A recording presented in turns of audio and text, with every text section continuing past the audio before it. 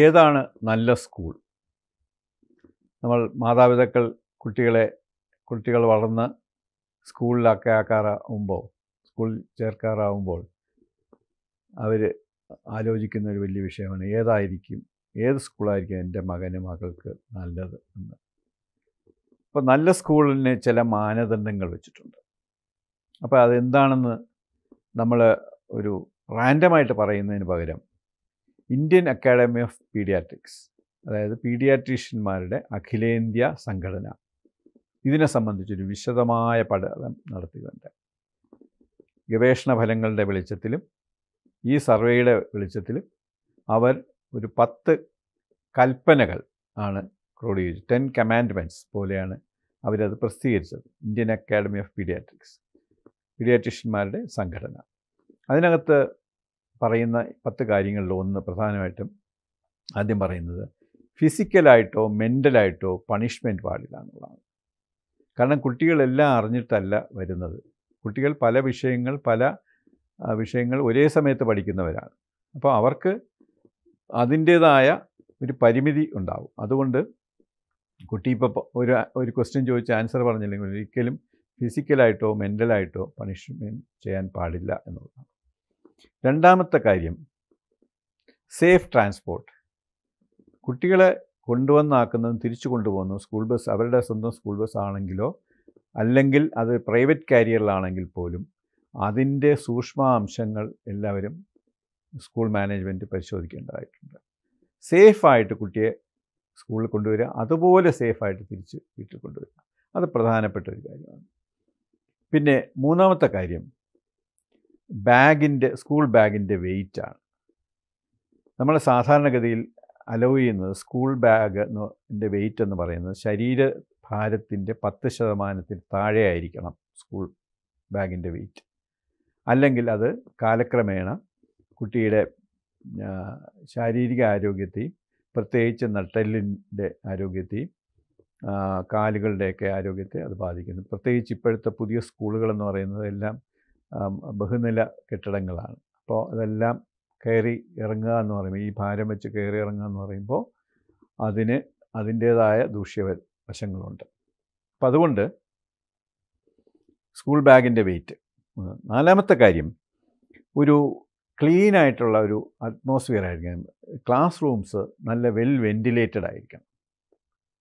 അതായത് വായു സഞ്ചാരമുള്ള നല്ല പ്രകാശം പരക്കുന്ന പ്രകാശമാനമായിട്ടുള്ള ക്ലാസ് റൂമുകളിൽ ഇരുന്നായിരിക്കണം കുട്ടികൾ പഠിക്കേണ്ടത്. അതുപോലെ അവിടെ ഭക്ഷണം കഴിക്കേണ്ട സ്ഥലം ഡൈനിങ് ഏരിയ വളരെ ശുചിത്വമുള്ളതായിരിക്കണം. പിന്നെ അതുപോലെ പ്രധാനപ്പെട്ട ഒരു കാര്യമാണ് ടോയ്ലറ്റ്സ്. ടോയ്ലറ്റ്സ് അതാണ് ഏറ്റവും വലിയ പ്രധാനപ്പെട്ട ഒരു കാര്യം. ടോയ്ലറ്റ് അറുപത് പേർക്ക് അറുപത് കുട്ടികൾക്ക് ഒരു യൂറിനൽ എന്ന നിരക്കിലായിരിക്കണം അനുപാതത്തിലായിരിക്കണം ടോയ്ലറ്റ് യൂറിനൽസ് ടോയ്ലറ്റ്സ് ആണെങ്കിൽ നൂറ് കുട്ടികൾക്ക് ഒരു ടോയ്ലറ്റ് എന്ന കണക്കിന് ആയിരിക്കണം ടോയ്ലറ്റ്സ് വേണ്ടത്. അത് മാത്രമല്ല അവിടെ എപ്പോഴും വെള്ളത്തിന്റെ ലഭ്യത ഉറപ്പാക്കണം. അത് പ്രധാനമാണ്. അല്ലാതെ ടോയ്ലറ്റ് മാത്രം ഭംഗിയായി പണിതിട്ട് കാര്യമില്ല.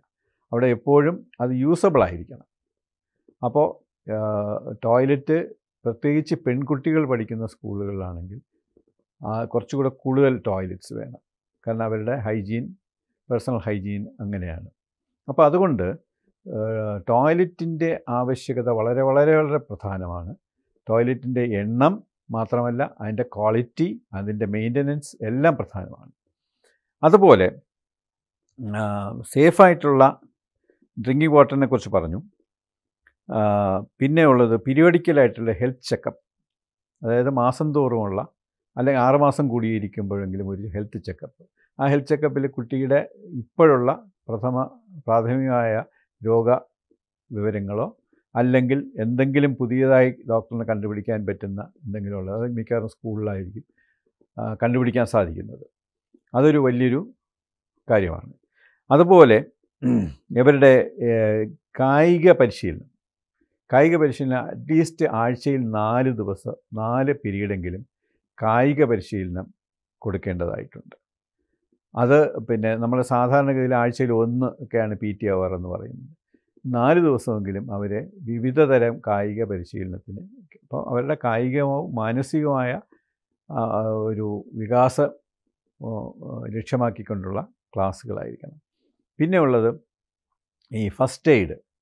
ഏറ്റവും പ്രധാനമാണ്. കാരണം ഫസ്റ്റ് എയ്ഡ് എന്ന് പറയുമ്പോൾ ജസ്റ്റ് നമ്മൾ വീണ് മുറിയുന്നത് മാത്രമല്ല ഫസ്റ്റ് എയ്ഡ് ഇപ്പോൾ ഉദാഹരണത്തിന് ഒരു കുട്ടി ആഹാരം കഴിച്ചുകൊണ്ടിരിക്കും പെട്ടെന്ന് തൊണ്ടയിൽ ആഹാരം ബ്ലോക്ക് ആകുന്നു കുട്ടിക്ക് ശ്വാസം കിട്ടാതെ വരുന്നു. എന്ത് വേണമെങ്കിലും സംഭവിക്കാം. അപ്പോൾ ഫസ്റ്റ് എയ്ഡ് കൊടുക്കേണ്ട ഒരു ചുമതല ഈ സ്കൂളിനുണ്ട്. കാരണം അവരുടെ ആരോഗ്യത്തിന് എന്ത് എമർജൻസീസ് വേണമെങ്കിലും വരാം. പെട്ടെന്ന് ഒരു കുട്ടി തലയടിച്ച് വീഴുന്നു. പെട്ടെന്ന് ബോധം കെട്ട് വീഴുന്നു. പെട്ടെന്ന് കുഴഞ്ഞു വീഴുന്നു.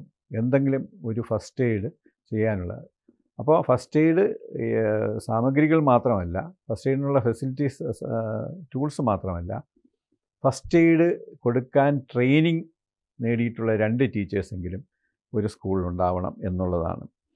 ഏറ്റവും അത് അത് അതൊരു വലിയൊരു കാര്യമാണ്. കാരണം ഒരു ആരോഗ്യത്തെ വെല്ലുവിളിക്കുന്ന രീതിയിലുള്ള ഒരു കാര്യമാണ്.